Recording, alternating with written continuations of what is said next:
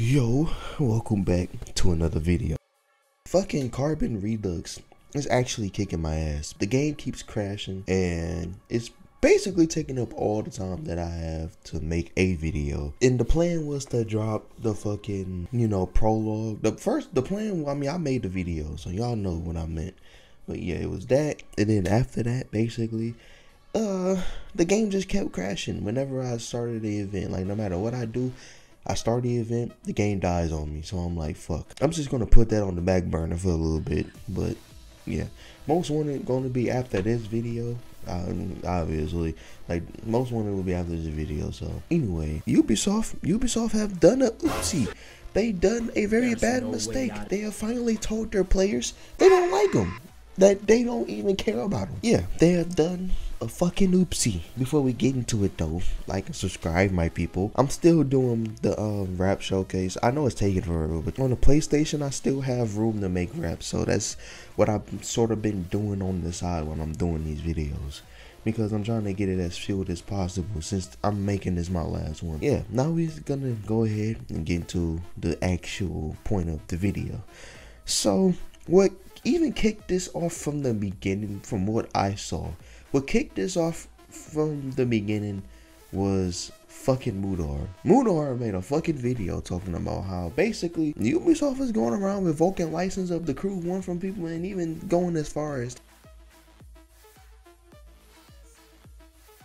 Now, if y'all don't remember what Ubisoft said long ago, they said that you know you should be comfortable with not being able to own your games and that letting us able to you know take the games no matter what the reason is, even if even if you haven't done nothing wrong. That's essentially what Ubisoft have said, and I'm saying Ubisoft because even though it's the head of Ubisoft, I mean at this point Ubisoft is kind of Ubisoft is kind of becoming that motherfucker. You know what I'm saying? PlayStation's been doing this too, but here's the thing: they've been doing it a little bit longer than what Ubisoft is doing. Because with you with, with fucking PlayStation, see, this is the story time, right? We Just it's gonna be quick as fuck.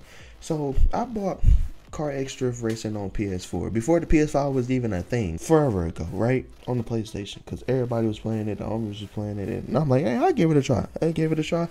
This shit was fun. It was in, it was interesting. You know what I'm saying? E- eventually, I did stop playing it because it was just other games I played a lot more that I enjoyed more. So I'm like, eh, you know what I'm saying? I forgot about it a little bit, and then I came back to it eventually because I'm like, ah, I'm gonna I'm gonna play some Car X.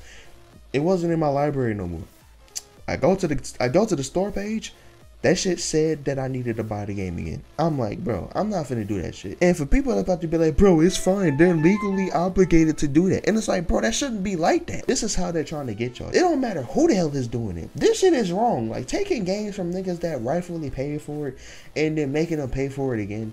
Or just taking it away from them, period, for no reason. You know what I'm saying? Like that shit is wrong. And for niggas that's about to be like, oh well, that's that's that's good because that means they're actually doing something. No, the fuck is not. Like honestly, that's not doing nothing good. That's doing a lot of bad, and it's gonna influence a lot of bad. I'm gonna call it the 2K effect. A lot of niggas got mad about this, and rightfully so because they didn't say they was gonna do this with the crew one. People thought they was just capping anyway, and they was just talking out their ass. And then maybe they just think back on what the fuck they said and be like, oh well, maybe we won't do that. But no, what they said they would do for the crew one is that they would basically just shut the service down, meaning that you won't be able to play the game at all because the game is online only. Same as the crew 2 and same as the crew Motorfest. Their true intentions were to just straight rip the game out of your fucking shit. Like Straight up. just strip the game out of your shit. And that shit was horrible. Like, literally, they basically said, yo, you see this game right here? You see this game? Right, right? No more. Oh, they basically said, fuck y'all. Y'all played the game, y'all spent the money. Now it's time for y'all to spend more money on our even more expensive games that are broken and not even able to work properly. The Crew Motorfest, the, the game I've been on the ass since last year, literally, bro. Like they're about to normalize ripping games out of niggas' fucking libraries and shit, revoking assets from them for no reason. You know what I'm saying? They about to normalize this shit, and this is this is when we actually need to do something about this shit, bro. Fuck the fuck, bro. Fuck the retards about to come through and be like, oh, Ubisoft never did nothing wrong. They make good games. Why you why you why you why you hating on Ubisoft? And it's like, bro. they they giving people reason to hate on them because they're doing dumbass decisions like these rather than just turning off the servers like they said they would. Like if they if all they did was say, "Oh well, we just gonna turn off the servers," like yeah, niggas would still be upset about that because now they sit because now they can't play the fucking game. But at least at least that means someone that's gonna have a very dedicated heart will make the game a, a, a offline patch. You know what I'm saying? Like for PC, obviously. I feel bad for you console niggas. I know y'all want a PC so bad, but yeah, for an offline patch, someone will be dedicated enough to, to do that. You know what I'm saying?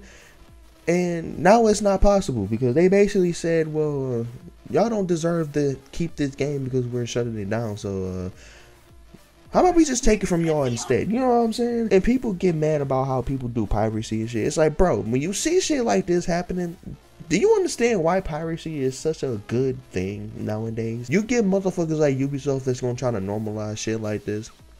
And now you're gonna be stuck like, oh damn, well, guess it's turn, guess it's time to pirate. You know what I'm saying? Like, at this point, piracy ain't even wrong no more. The, the the shit that's wrong is Ubisoft because they're making these dumbass decisions to basically fuck over the people that've been playing their games for so long. Like there's so many OGs that played the crew one. I'm not counting myself. That's that's basically what's going on. Ubisoft are saying fuck our players, fuck our people that bought our games. We're just gonna take this game from y'all because we said we would close the servers, and and we feel like that if we do that, people will get too much of a big brain to blow an offline patch and let people play the game forever. And we can't allow that. So we have to take this game away from y'all so y'all will play our newest piece of trash called The Crew Motorfest. Our most broken game yet. it's it's like bro, this shit is this shit is sad. The Crew 2 and the Crew Motorfest are also online only. So what's gonna happen when it's time for the Crew 2 to go to the gulag? People actually defend this shit. People actually defend Ubisoft taking games out of people's libraries because they're about to shut the servers down. And I guarantee you it's gonna be on there. Oh well, because it's their product, so why not? It's like, bro, doing that just makes you look bad. You're gonna look like the damn gremlin doing this. And it's crazy that they don't think about this, but see, here's the thing. This is Ubisoft we're talking about here. These are the same motherfuckers that literally three cases about the wrap editor. Both bots, the last one ignored. You know what I'm saying? Six months down the line of the game's release, the wrap editor has been broken. This is straight. This is not no collectively no more because that not, you know what I'm saying. This is like straight, and Ubisoft have not done a damn thing about it to make it better, but done everything to make it worse. You know what I'm saying? Anyway, that's about it. And most most wanted redux coming after this video, so that's about it. And I'll catch y'all later.